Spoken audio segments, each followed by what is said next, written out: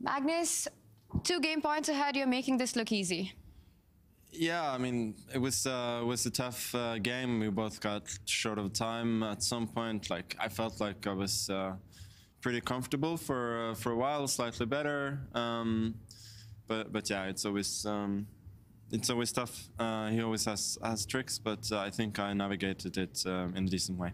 There was this moment he went king h1 and you've got queen h3 with his g2 pawn pinned. Did you miss that or did you not like it?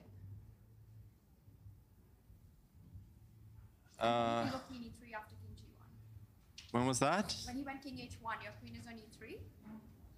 And instead you took bishop a4. Oh. Missed it? We thought it was a blind spot.